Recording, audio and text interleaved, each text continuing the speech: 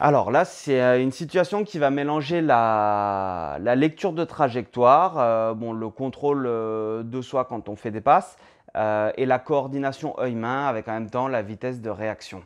D'accord? Le principe était simple, une balle de tennis par enfant, il devait lancer la balle sur, le, sur le mur. Alors, ce n'était pas un mur très haut, mais il n'y a pas besoin d'avoir un mur très haut pour le faire, et le rattraper avec la même main. Donc, il commençait en lançant avec la main droite et il devait le rattraper avec la main droite. Et donc là, on est sur, euh, sur un souci que j'ai remarqué, c'est que quand vous donnez euh, un ballon rond ou ovale à des joueurs de tennis de cet âge-là, euh, c'est catastrophique, ils ne savent pas se faire une passe et rattraper une passe.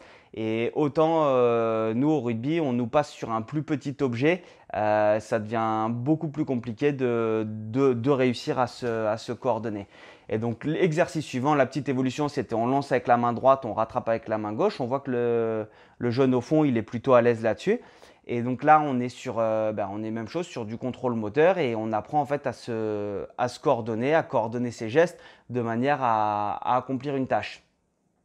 Alors après, ils sont pas tous à l'aise, euh, ils n'étaient pas tous à l'aise là-dessus. Là, on le voit, le, le, jeune qui est devant, lui, il, a du mal à lancer la balle et qu'elle revienne vers lui parce qu'il ne la lance pas assez fort sur le mur, il la lance vers le haut.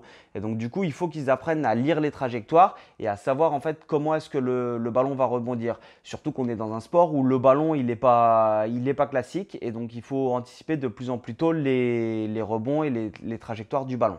L'évolution, c'est qu'il y a un joueur qui est derrière et qui envoie la balle sur le mur et celui qui est devant doit la, doit la réceptionner. Donc ça va le forcer, même chose, à réagir. Là, on va être sur de la lecture de trajectoire toujours, de la coordination œil-main, mais aussi de la vitesse de réaction.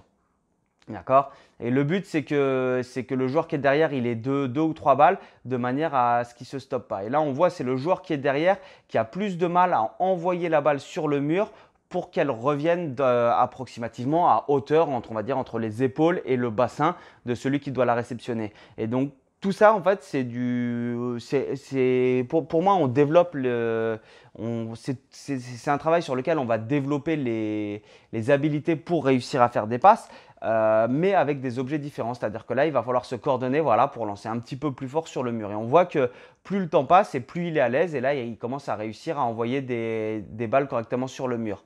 Et quand c'est l'autre qui doit passer, euh, derrière, il va se rendre compte maintenant de la difficulté d'envoyer un ballon qui doit revenir à peu près entre les épaules et le, bassin. Si on l'envoie trop haut, ça ne marchera pas, donc il faut l'envoyer assez fort avec une trajectoire tendue. Et plus les joueurs vont être à l'aise, plus ça va pouvoir se faire rapidement et ils vont pouvoir réagir rapidement et surtout avoir un maximum de répétitions. Le, le, but de toutes ces situations, c'est vraiment qu'ils touchent un maximum de ballons et de leur ouvrir l'esprit et, et le champ de possibilités que le corps leur offre. Je me suis vraiment rendu compte que, le, que les possibilités que le corps offre, en fait, n'est limitée que par ce qu'on propose aux jeunes. Des jeunes, euh, j'ai vu des jeunes au tennis qui sont capables de faire des choses avec leurs appuis, mais qui sont vraiment incroyables. C'est pour ça que pour moi, c'est très important. Mais on n'a pas que les appuis. Là, on est sur, euh, bah, sur tout ce qui va être développement du haut du corps mais euh, j'ai envie de vous dire, si on, met des, si on prend des jeunes basketteurs ou des jeunes euh, euh, qui viennent du hand, ils seront très très à l'aise sur des, sur, sur, des situations comme ça. Alors que nous, au rugby, on a tendance à se focaliser sur le ballon, déblayer, etc. Alors que la priorité pour moi, c'est de faire de, de, de ces jeunes des, des sportifs qui sont qui sont accomplis et c'est ça, c'est-à-dire c'est les développer d'un point de vue moteur pour qu'ils soient à l'aise, qu'ils soient à l'aise et qu'ils s'épanouissent dans leur corps et dans leur vie de tous les jours.